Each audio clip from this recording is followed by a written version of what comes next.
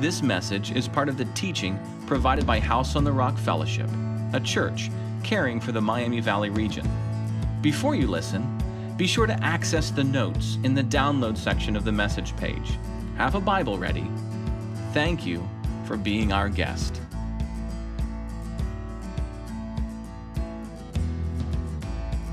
So thank you so much for having us, and thank you for coming.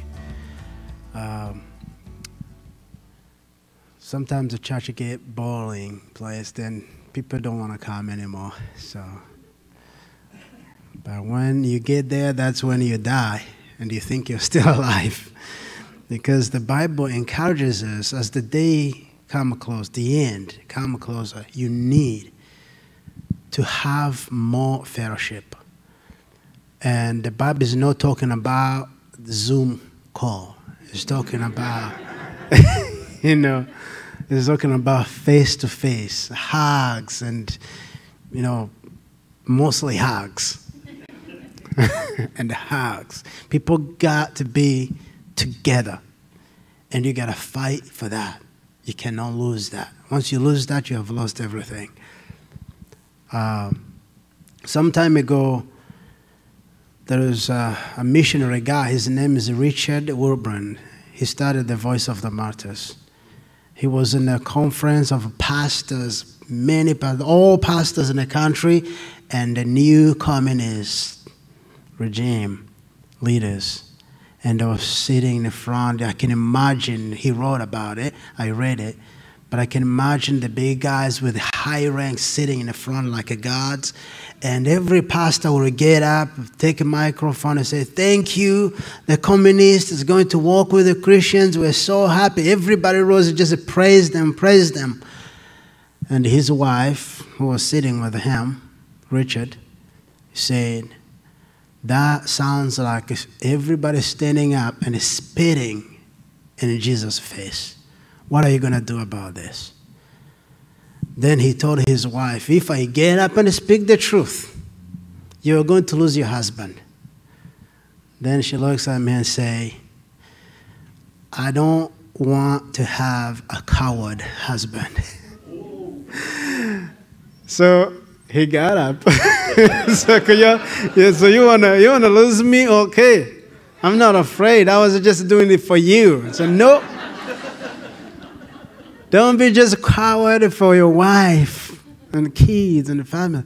So he spoke up and said, the communism has always against the Christianity. You are the murderers. You have killed a lot of Christians. And this is on radio. The speakers, the people outside listening, the whole parliament, they're making the biggest decision that will ever lead the country. This is Romania, I think. And then, well, he went to jail for 17 years. When they released him, it was the Church of America that fought for him to get out. So the communist leaders approached him and they told him this Don't you dare reveal the secrets. Don't you dare talk about what happened here in the prison. Because he was tortured. And then he looked at me and said, For 17 years, you didn't kill me. What makes you think you're going to kill me when I'm free in the U.S.? Because he was coming to U.S. Then they told him, You don't understand America. They're so easily deceived. We can blackmail you, we can make up stories, and they will believe us. We can say you are a rapist, they will believe us. Or we can hire a gang for thousand dollars, they will kill you. So be careful. He's like, well, let me worry about that. So the first thing he did, he wrote a book called Tortured for Christ. yeah. If you want Tortured for Christ, you don't buy it. You can just order that online. They will send it for free through the voice of the martyrs. You get to hear the stories probably the story you need to hear more than I can tell you today in this season because it's coming your way.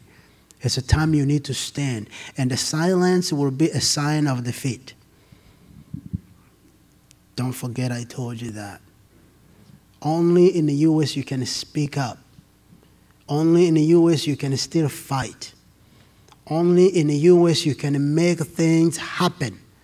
Every other country has been locked up. You can't do a thing, you can't give a second opinion. But we are still preaching the gospel. They don't want it, but we can't help it.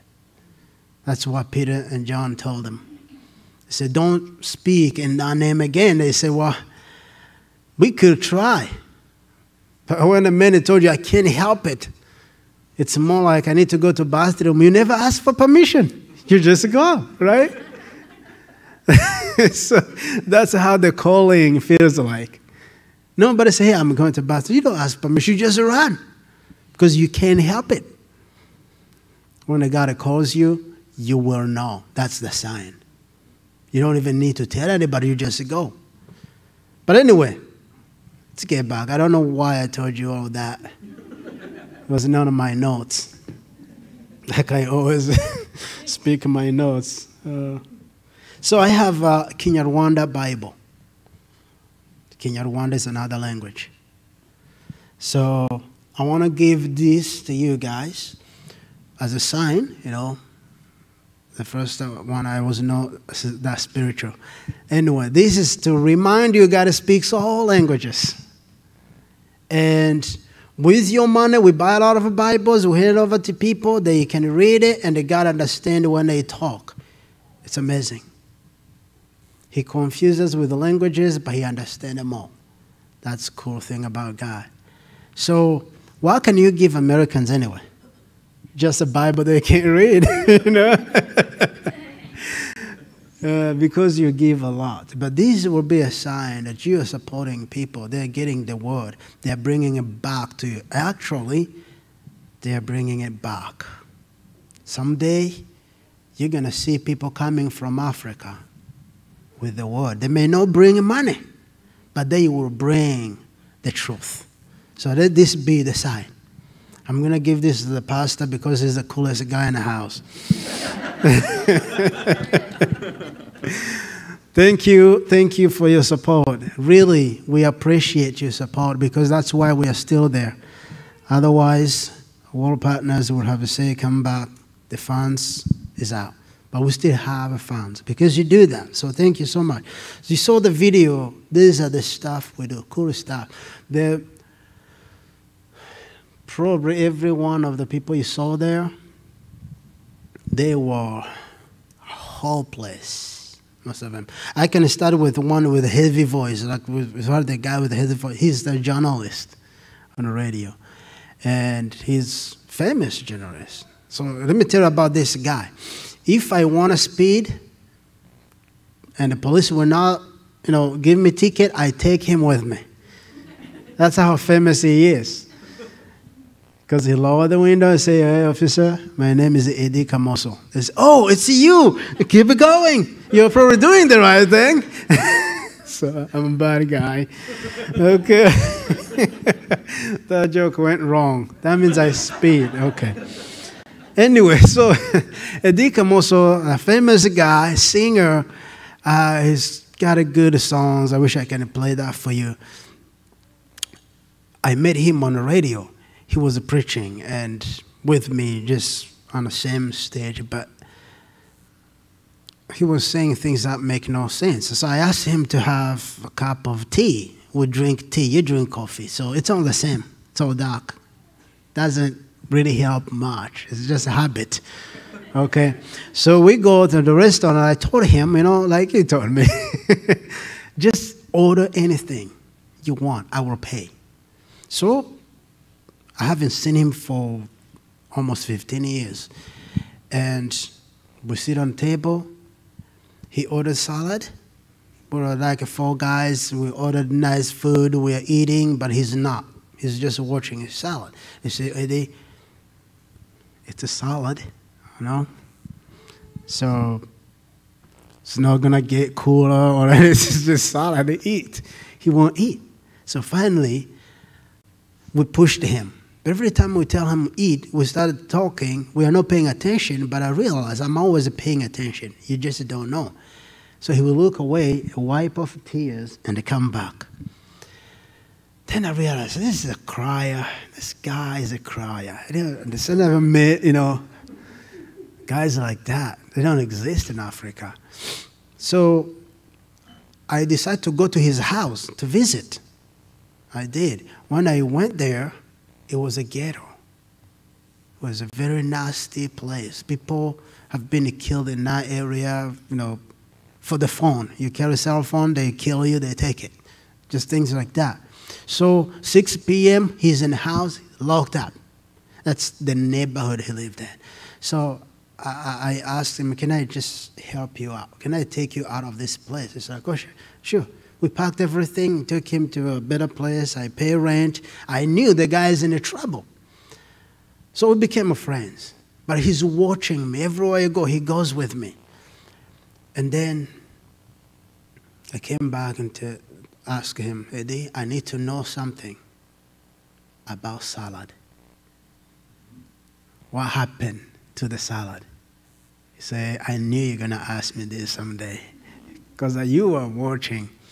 So, this is common to most people in Africa. Lockdown is still on. People don't work, they don't get help. How they survive, it's a miracle.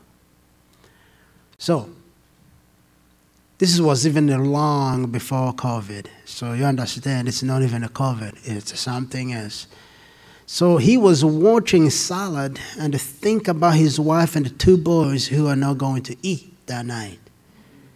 So he felt like he's going to betray them eating. He will look away, he will cry, but he doesn't want to cry in front of men. So the rest of the guys didn't know he was crying.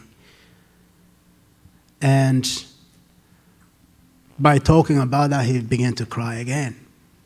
But he's so grateful for the things that he think I have done for him. I only pay $300 for three months. And it was a nice house. For him, he thought I was really powerful. But the most powerful thing, he's traveling with me. He sees what I do. I don't even know what I do. I just became part of my life. I meet people on the street. We talk. I don't know how I start a conversation. Then the next thing you know, they are repenting. But you know, that's anybody can do that. There's nothing special about me or Apostle Paul or the other Paul. You know, there's nothing special. We're all human, right?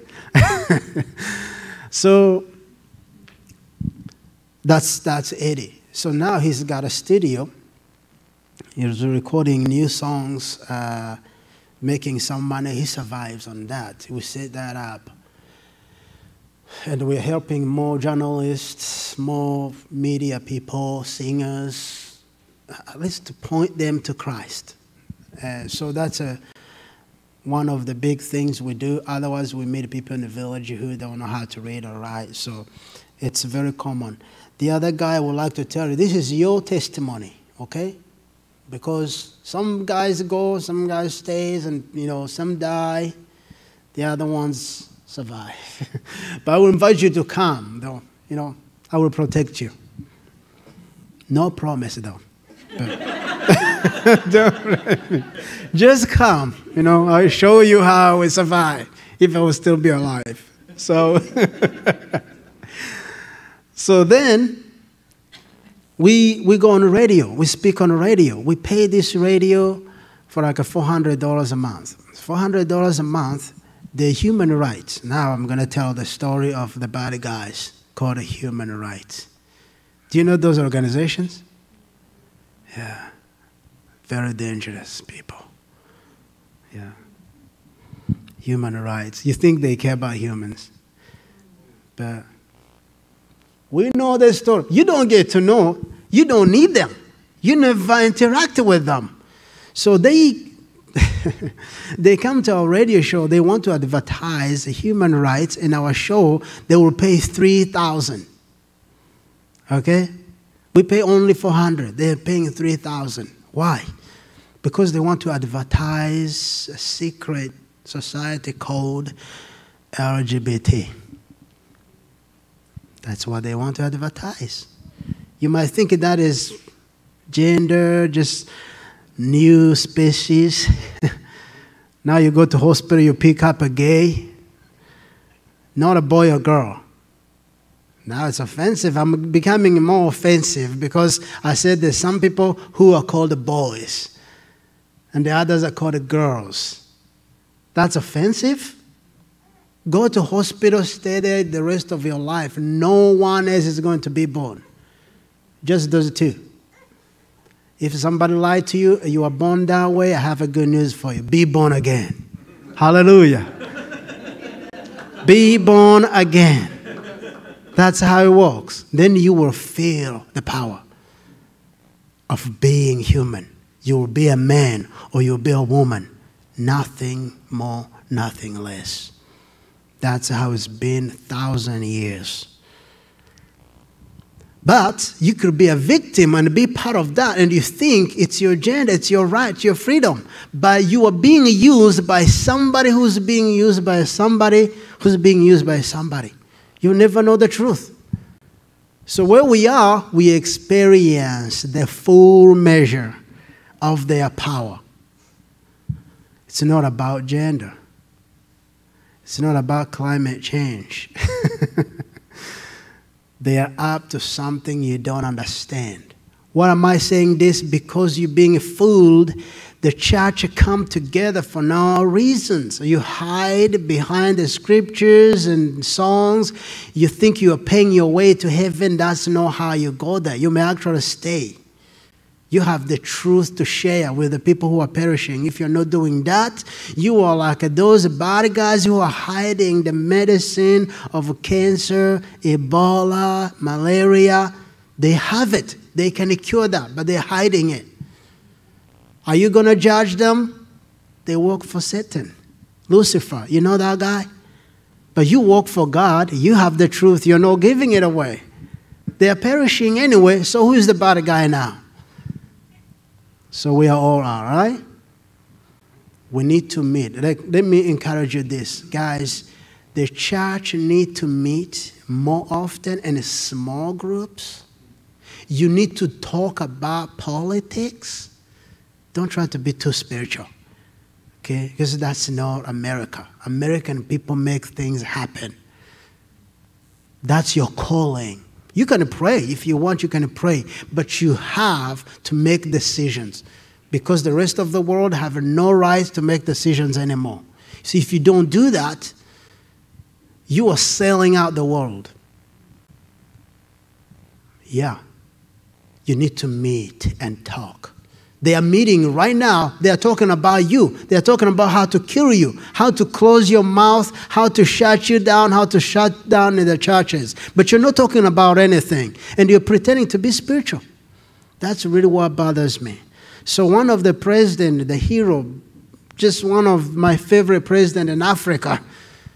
Can you imagine there is a, my favorite president in Africa? There is actually one. His name is Thomas Sankara. He was not a Christian, I don't think so. But here's what he said. He got killed for speaking the truth. But he said you can now carry out a fundamental change without certain amount of madness. People who don't get angry change nothing. If I don't make you angry, I can't make you happy because people are looking for happiness. Just give me happiness in envelope. I want to just, you know, that's why people raised on TV. They're always watching movie. There's now Marvel. The new Marvel is coming. You are never satisfied. That's why you come to church. You're so bored. There's nothing more entertaining than the movies we have. I'm telling you, it's a very dangerous season we're living in. And all these things is played out in front of you so they can brainwash you. Hollywood have you heard about Hollywood is silencing people now? Yeah, because the truth is starting to come out. There's a guy who used to be your president. He came up and stole things up and left. now you're in trouble. He stole things up, now the truth is starting to come out. Wait, this is who I am. The way I say things, the way I say them. If you try to hide and be so spiritual, carry big Bible under your arm, showing people how spiritual you are, it's not going to change the world. They will tell you to stay home, you will. But don't let them take your guns, please. I know, I know. That's what I'm waiting. When Americans hear that we're going to take your guns, you're going to fight because I know you love hunting. You don't even know why you. Most of the time, you don't even know why, how powerful it is to have a guns in your house. You don't know why. You think it's for hunting. No. That's not what it is. It's a fight to shoot people. You read the Bible, there is a lot of shooting. Have you read the Bible recently? Or you just moved to New Testament, you don't care about the other one.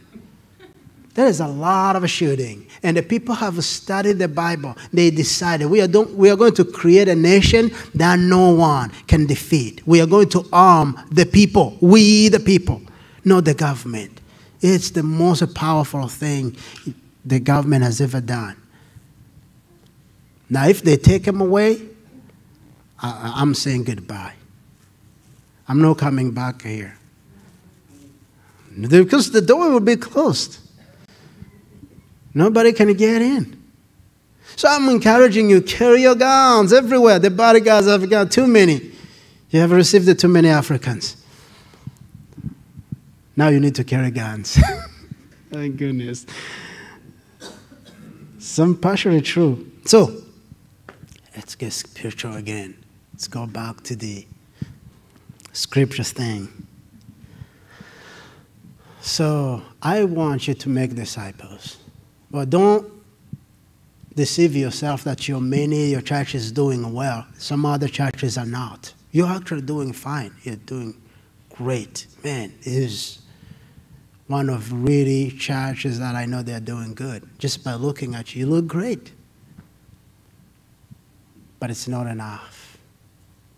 I mean, you can give me money, you can send me to Africa. If I die, you will stop sending money. But Americans need to be saved. Well, I can't promise you to get your money back, but it happens. So, one of those guys, you know, uh, my, my best friends, actually, let me talk about Melody. Melody, the, Melody is very short, this short. She's probably 50 years old, I think. Never been married. She's got one eye. She's very short. That's the problem, right? Short, one eye. So I met her 20 years ago when I got saved. I pushed her so hard, Melody, you can do something. There's a something. God created for more than just silence. I pushed her to do evangelism. She can't. And then I realized she works in a hospital for they're specialized with bones. They heal bones. And I don't know what that means, so I didn't care. Just do something, Melody, prophesy. I mean, you can do something. So uh, I push her, Melody, she's so many complex. She came off. Ten years later, I asked her to go to YWAM and do discipleship at training school. She did. God spoke to her. She went to become a missionary in Burundi. She quit the job, the good job. She went to Burundi. She's serving people there. She's preaching on the street. Basically, she's becoming more, you know, open.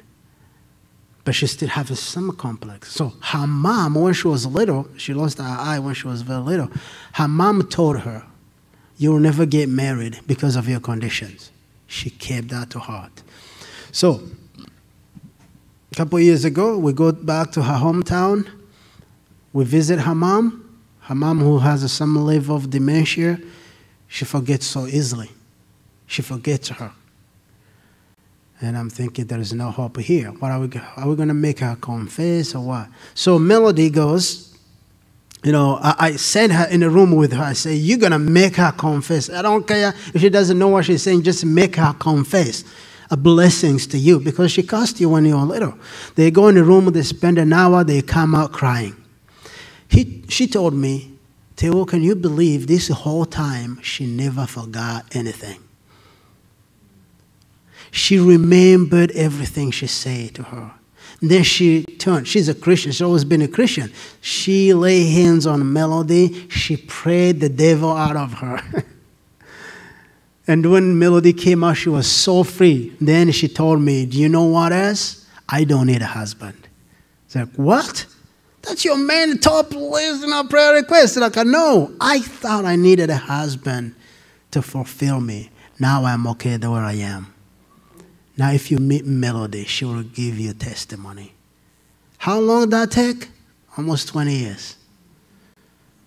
That's a discipleship. But you got to keep pushing. You don't give up on the people, you keep pushing. I give up on some. Some are very too crooked to just keep pushing. So, anyway, I, some get better. That's Melody. Melody now lives in my home village. She's a Congolese. She's born in the Congo. She lives in my home village and now saving the world. She's specialized, you know, with, she's a therapist.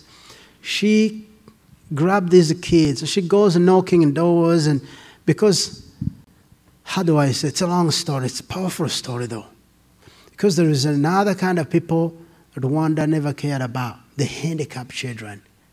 If you had a handicapped child, you kept them in a house so your neighbor doesn't know you have a kid. Because it's kind of shame, they thought. So Melody, I don't know if the Holy Spirit wakes her up, go knock on that door, they kick out, get out of here, we don't want you here, because they don't know what she can do. But when she healed one kid, one kid who could not eat, so crooked, the hands could not move. Melody straight her up, and the kid began to eat. They will bring them overnight to her. I have one too. I have one too. So she became a healer in the village. These kids will come out of the house looking like a yellow banana because they never meet the sun. So Melody takes care of those babies and little bit adults. She fixed them. And then their parents get saved. She discipled them. That's what she does. Don't you think that is my hero? But when she talks about me, she think I'm her hero. I'm thinking, okay, let's be hero to each other. She sent me message about last week. It was so amazing. Say, well, I never thought I would be loved. You're the person who really changed my life. I'm thinking, Melody, you changed my life. I don't know what you're talking about. But that's how discipleship looks like. There's so many stories I would like to tell you, but oh, my time is running out. So, can I tell you one more, just one more story? I'm African. We tell stories.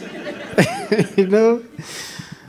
I guess we are not smart enough to tell you a lot of theology and tell you how long it was from Egypt to Israel. Maybe that will set you free. oh no. uh, people are just so smart. They hide behind the smartness, they do nothing. So, very serious though, the very serious case. The knowledge we have, we do nothing about it. Maybe we make money out of it, but we don't make a life out of it. But we study the Bible so we can bring people to Christ. If we're not doing that, what, why do we know what we know?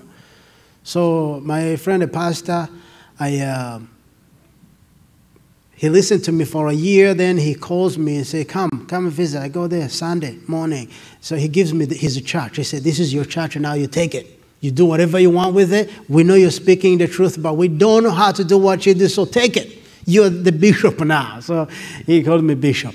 I said, "That's not what I do." give me five people. So I trained five people in his church. Next time, he brings 11 more pastors from different denominations because they are seekers. Then the next thing I know, they are going in a village preaching the gospel, raising, you know, people from wheelchair, including Mayor, who was handicapped in a wheelchair. So the healing is taking place in so many ways. These pastors are just very poor pastors, uneducated. Then they go to the office, the office of mayor, and he was on a wheelchair. They say, "You know, we can pray for you. You can be healed." They said, "I could try." I have tried so many people. The witch doctors have failed. What do you think you can do? In the name of Jesus, get up. They pull him out of his chair. He's still walking to this day. He left the office, became a preacher. What would you do in a government anyway? they don't preach the gospel. so, I mean, so he left. Um, I don't know why. There's something good. Our government is better than yours anyway, so.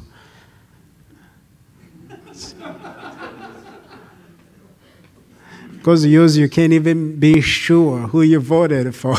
so, uh, for us, we always know, you know. We always, if we even know who's going to win, we always know. For you, it's just messed up, right? Sorry. That was that was a true joke.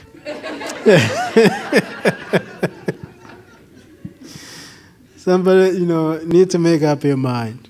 It's, we have one president, and he's great. Know your president, ours. So, so those are a few stories out of sacrifices. Some of us, we go. Some of you senders, you're the senders, you give the money. Some of you pray. Pray. You need to pray. You need to pray for us. Because at some moments I don't feel like praying. I can't pray. I just can't. I sit down and get angry. So if you visit me and you find I'm always angry, I'm not angry at you. I'm just angry at injustice that is happening every single day. And we're dealing with that every single moment. And when we come here, look how fun it is. I'm talking to the most smart people on the planet. They don't even believe it, but you are. There's no other powerful country on the planet that can do what you do. The most powerful organization that help people, the needy all over the world, come from the U.S. The other countries have given up.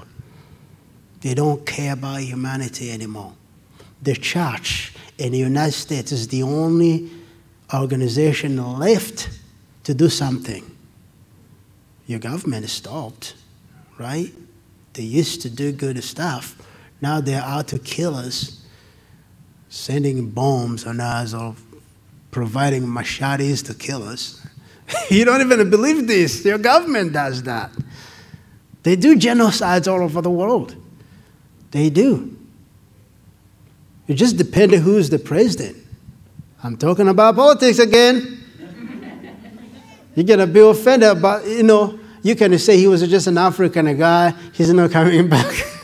if somebody say, you, you said something bad, he was just an African guy, he's gone. It's, it's really shocking because I, I, get into trouble because I dig deep. I try to know the truth all the time. I'm trying to know the truth. I'm always asking questions to the people I'm supposed not to be meeting. If I find a politician, I'm going to ask you questions. I got to know what you know, everything. Because I need to know what's going on in the world. So 2016, I met a General Romeo Dallaire, who was in charge of UN soldiers in Rwanda during genocide. I asked him, why didn't you help us? Then he got up like, you woke up a sleeping giant. Finally, somebody asked him the right question. He began to tell me a lot of things. We met in Canada. And he told me, I called everybody. I called Bill Clinton. It's almost like, let me blame him. I'm going to tell you why he told me. So he called him and I need 4,000 soldiers. We can stop genocide. Bill Clinton tells him, why do you care about those blueberries anyway? They're overpopulated. Blueberries, black people. But the same people will be asking you to go on the street, Black Lives Matters. Do you think they care about black? And I've seen churches on the street supporting that demonic organization. That is not us, people. We don't have a black, we don't have a white. We have the body of a Christ in one color. We don't buy into those nonsense stuff. You have to be angry about what's happening, what's taking place in your country. When this LGBT movement you hear here, you think, oh, it's okay, they're just people like us. They're no people like us. They've been deceived. They have been compromised. They don't love you, even if you gave birth to them. They are being used here, but overseas they are very genius. They know what they are doing. They are political. They are politicians. The political movement, they call LGBT. You think it's just gender things? No. They are up to something you don't know. You need to be asking questions. You need to get angry about what's happening. These people kill my partners in ministry because we're talking about the things I'm talking about right now. We can't help. We can't tell the lies. We can't be silenced. The only way to silence me is as a bullet in the head. But if you miss,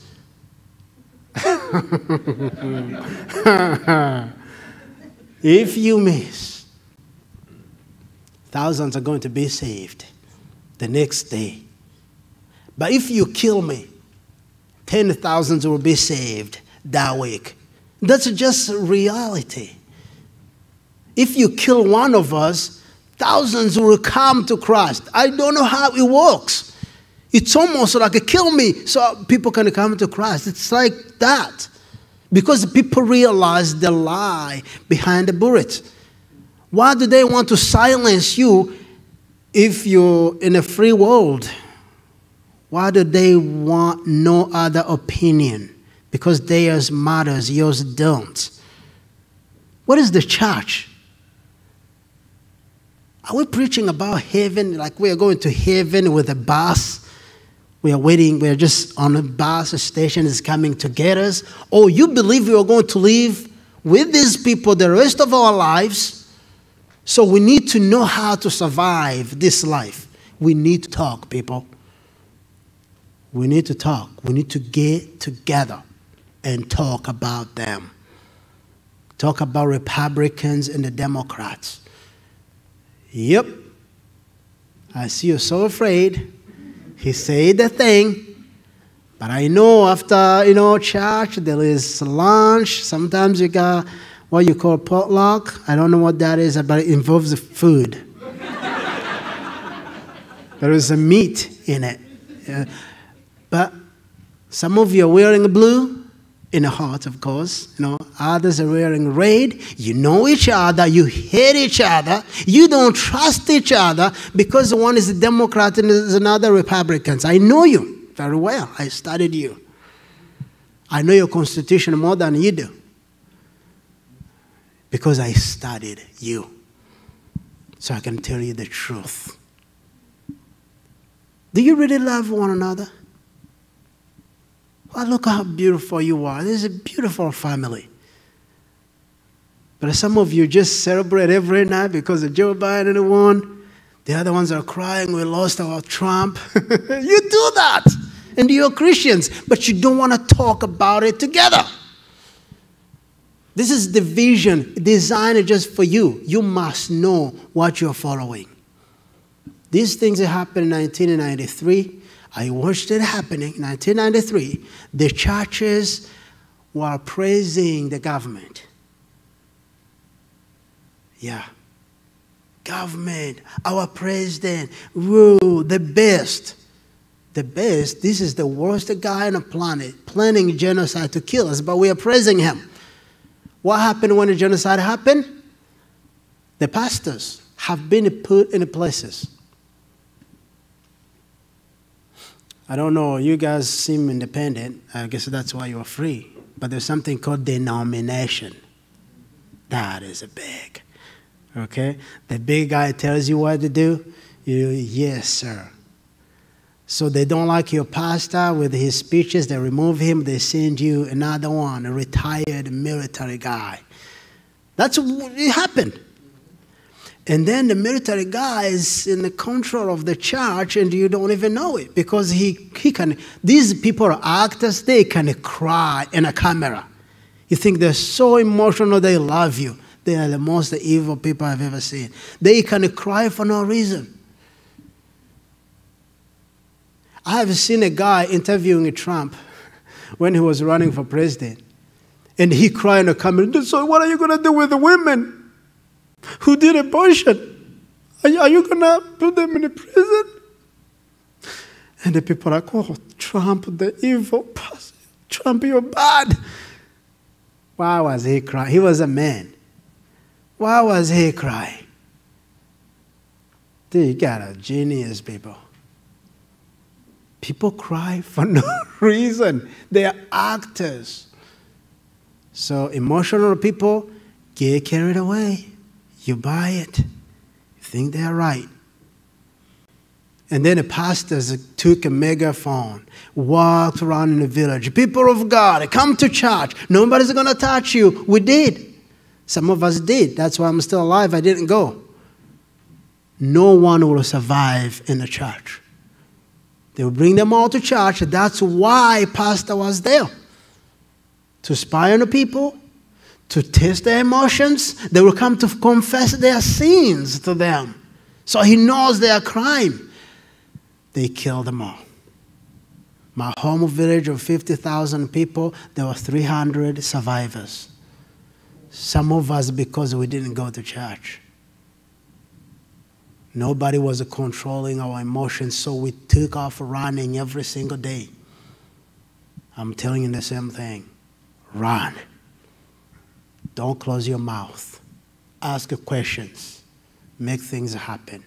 Most importantly, one thing I want you to leave you preach the gospel for any cost. Whatever it costs you. I know you love your jobs, you're always afraid to lose it. Well, the Hollywood actors begin to lose it just because there is one I saw, because he slept in a, in a, in a Trump Tower. He spent a night there. He got fired from Hollywood. What's up with the Trump guy anyway? What happened to this guy? Who is this? I don't understand America. I'm still need to, I still need to learn about that guy. What happened to him? What is, what's up with him? That people are persecuted because they like him. So I begin to like him because they hate him. you can't love a guy everybody praises. Something's wrong with those guys. I'm not a politician, I'm a Christian. Always be. But things out there we need to talk about. So, I'm closing. I'm closing. I'll let you go to your own businesses. Uh, watch your footballs. Football games, I know it's big. They told me, they warned me about it. So one thing that you're going to survive, because someday you're going to die. I have bad news for you. Everybody's going to die. But some will die for no reason. They would have been dead, just waiting to be buried, because while they are alive, they were not living for real. I'm, I'm, I'm hoping I can make you angry, but I didn't do a good job today. You don't look angry. But I hope I can really make you angry. Like the guy in a nursing home in Greenville who tried to stop me from playing worship songs. I let him know I studied karate. I'm gonna kick your backside. So I actually scared him that way. Then I looked at him, he's so scared. You know, these people are scared, but when you scare them, they are terrified. So he was a big muscle guy, satanic, you know. He doesn't want anything Christian happening in nursing home. And then I'm standing there thinking, let me show you how to scare big guys. So you know my whole life I've been training to beat somebody. You touch that radio boy, I'm gonna show you something. he bought it. he bought it. you know, he believed me. He was just confident about like, this guy could crush me. But I thought I'm gonna, I'm gonna kill you. Don't touch that radio. so he kept telling me, you can't play music in public, please. This church thing. But you know where that company was? It was a brethren's home, the church company. He said, you can't play Christian music. But when I play Christian music, the elders, our beautiful people, our grandpas there we took care of, they felt like back home, like old days playing hymns. They felt like they were in a church. It doesn't matter what they went through, they went to sleep. He helped me. It's a church company. So I told him, This company was started by a church. I will do whatever I want and see what you're going to do about it. So I began to preach. Oh, people got saved. They were, oh my goodness. I can tell you stories and I remember time is out. I can tell you right here in the US, people are getting saved. Even a couple weeks ago, two people got saved the way I preached. Three weeks ago, four people got saved in the other church. You should get saved too. That's what we're all about. People need to come to Christ. So what happened? This guy, he kept making, he he stirred up the other employees, the pagans. They began to make cases against me. Take them to the supervisor. I will go sign papers every time. Like four times I decided, you know what? I had a too much. Who's doing this? He said, We can't tell you. I'm sorry. I know who he is. I know who that is. But so, final story, the last one, I'm going home, okay? I worked second shift and I ended 10 p.m. I'm going home. I'm so tired already. Around the 10 p.m., you're thinking about bed. You don't even remember you have a wife and the kids. Think about the bed. I'm so tired. And God told me, get in this room. I walk in this room. I stood there. I said, God, I've been standing here. I don't know why you called me to come here. 97 year old raised hand and say, Can you help me?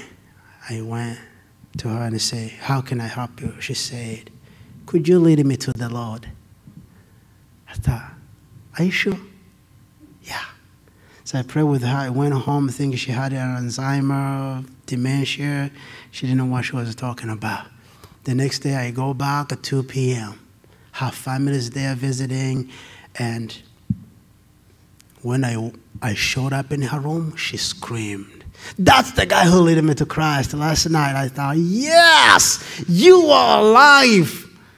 You knew what you were doing. People are waiting that much. She died that week, 97 year old.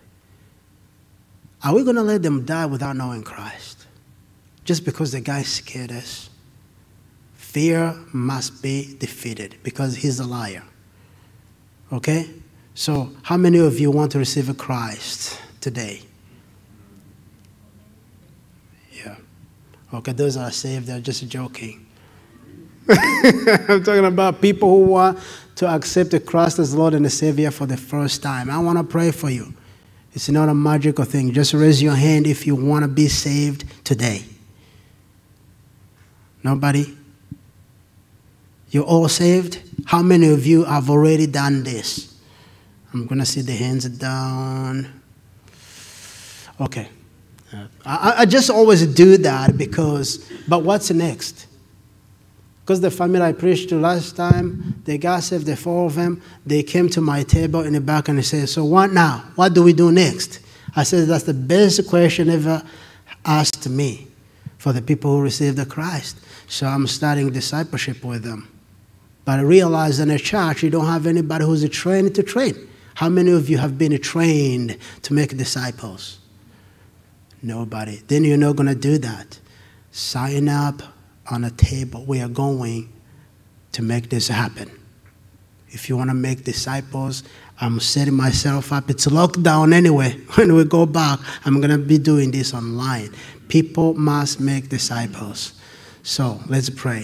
Father God, I know these people have been listening. I know this is a beautiful place, a beautiful church. I pray that your power will overcome over all their fears and let them speak. They cannot be silenced as a sign of defeat. This is not a defeated church. So I pray you touch every one of them, Lord, and bring them back to life and bring more people to life because these ones are alive and well. Holy Spirit, I pray that you take over from today. People will know you because the house on the rock, they know you. Thank you in the name of Jesus. Thank you for sharing your time with us, and we'd love for the journey to continue. If you're a guest, would you consider reaching out to us? We would love to come alongside and encourage you in any way that we can. If you're someone who's joined us today, and you are desperately reaching to find hope wherever you can. Again, Jesus came that we would find hope. You can find hope today. If you want to send us a short note, a member of our Hope team would reach out quickly, promptly, to come alongside and see what we can do to encourage you in whatever storm you might find yourself in. That's why Jesus came. That's why we're here. Jesus said there's two ways to live your life. And a wise man, a wise woman, builds their life on Jesus' instructions. God bless.